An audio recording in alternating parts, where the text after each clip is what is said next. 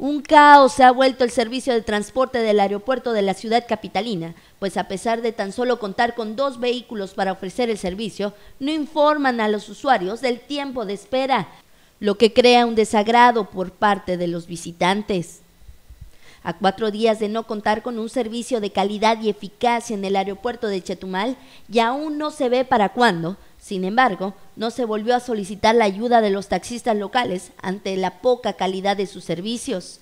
Cabe mencionar que a la llegada de los vuelos comerciales de esta estación aeroportuaria se puede observar el caos en la puerta de salida de las instalaciones por el amontonamiento de los usuarios al no poder tomar un taxi con agilidad, ya que solo dos vehículos están brindando el servicio.